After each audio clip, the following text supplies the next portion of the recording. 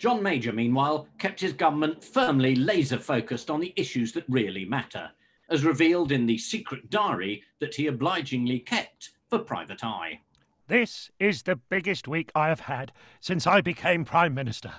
Oh, yes, I will finally unveil my Citizens' Charter, which everyone has been looking forward to for many months.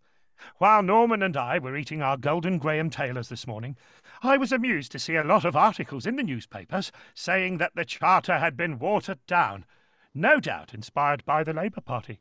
Oh no.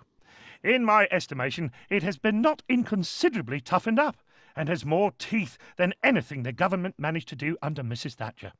For instance, there is a whole new section laying down that in future all civil servants will have to wear name tags saying who they are and when they answer the telephone to members of the public, they will have to say, Have a nice day. I have lots of other brilliant ideas for my charter, too. For instance, one of the real menaces of the modern world is when you have a ballpoint pen in your pocket and it starts to leak, marking your shirt and sometimes your vest, if it is winter time. Under my charter, you would be entitled to recover the cost of the dry cleaning from the manufacturers.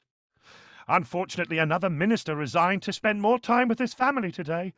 I have already filled in my New Year at a glance planner, and it is not inconsiderably annoying to have to keep putting in new government vacancies to fill.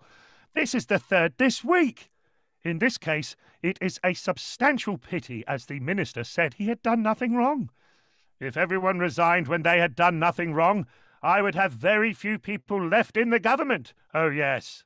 Private Eye Six Decades of Jokes and Journalism. On sale now.